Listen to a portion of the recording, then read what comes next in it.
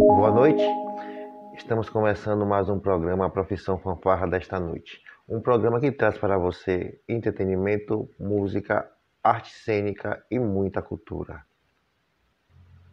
Laboratório Musical vai trazer uma polêmica. Vamos saber qual é? Fique ligadinho.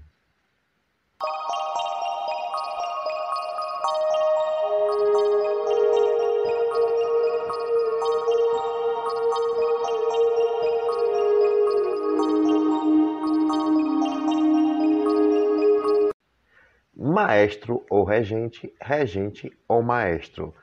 Vamos descobrir um pouquinho, vamos falar sobre este misterioso personagem. O maestro, como conhecemos hoje, surgiu no romantismo musical, quando a massa orquestral ou coral tomou grandes proporções.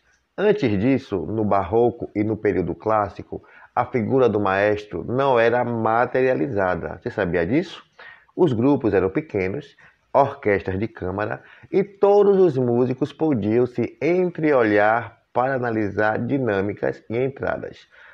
Porém, já no classicismo, com o início do crescimento da massa orquestral ou coral, quem coordenava era o músico mais visível, o primeiro violinista ou algum instrumentista de sopro. Carl Maria von Weber foi quem introduziu uma pequena vareta ou um pequeno bastão para substituir o rolo de partitura. A esta vareta deu-se o nome de batuta. A regência é uma atividade que envolve diversos aspectos musicais, gestuais, vocais, psicopedagógico e psicológicas. O regente ou o maestro deve representar e promover a unidade da expressão artístico-musical de um grupo de pessoas, mesmo que elas tenham habilidades artísticas heterogêneas. Maestro ou regente, regente ou maestro. Maestro.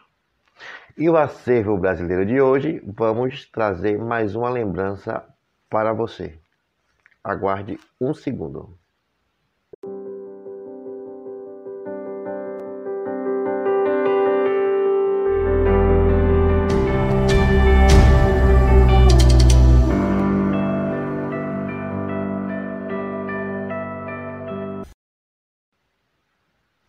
Fanfarra Noé de Azevedo. Você já ouviu esse nome?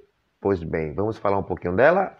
Sob a regência do maestro Marco Antônio Rodrigues, ou Marquinhos, o Noé de Azevedo dominou a categoria de 1988 até 1995, perdendo apenas um concurso nesse período. Executou músicas que se tornaram clássicos e até hoje fazem sucesso em vídeos que podem ser encontrados também no YouTube como Fanfarra Olímpica, O Espírito Olímpico, Superman, Galáctica, Ruby Tuesday, dentre outras. Em 1995, tornou-se banda marcial, alcançando em 1997 o posto de melhor banda marcial do Brasil, mantendo-se de forma invicta até 2002. Encerrou suas atividades em 2010. Um viva a Fanfarra Noé de Azevedo. Vamos falar dela, da mulher brasileira. Vamos falar um pouquinho do nosso quadro MPB Nossa. Vamos conferir? Pois você sumiu no mundo sem me avisar. E agora eu era um louco a perguntar: o que é que a vida vai fazer de mim? Maria Maria. Vocês conhecem essa música? Vamos conhecer um pouquinho dessa história. Maria Maria foi gravada originalmente em 1978 por Milton Nascimento, composta pelo mesmo com a ajuda de Fernando Brandt. Maria Maria é uma das canções mais famosas do artista. Foi regravada por vários artistas. A regravação mais popular do grupo Roupa Nova na década de 90 vendeu mais de 300 mil cópias. Você sabia disso? também foi regravada por Elis Regina na década de 80. Milton compôs essa música em homenagem à sua mãe, que se chama Maria.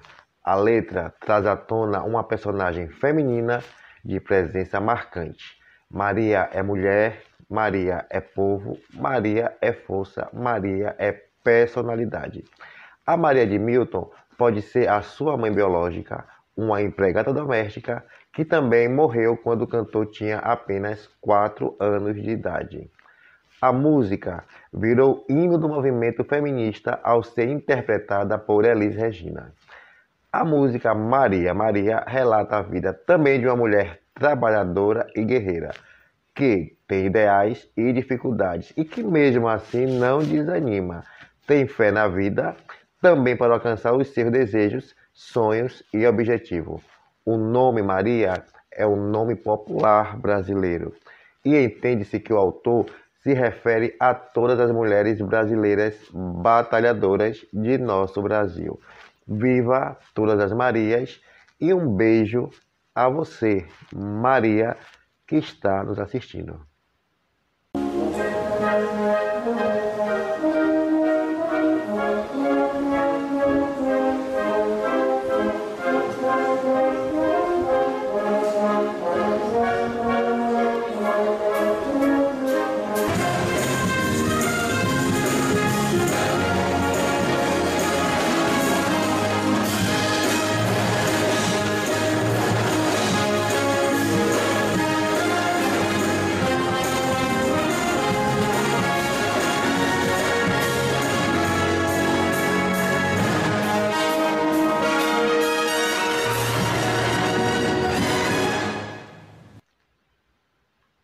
Como dizia Carlos Drummond de Andrade, eterno é tudo aquilo que vive uma fração de segundo, mas com tamanha intensidade que se petrifica e nenhuma força o resgata.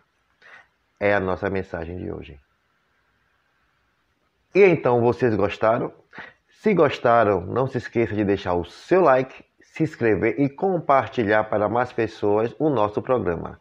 Também não se esqueça de ativar o sininho que está aqui embaixo para receber as notificações de novos vídeos.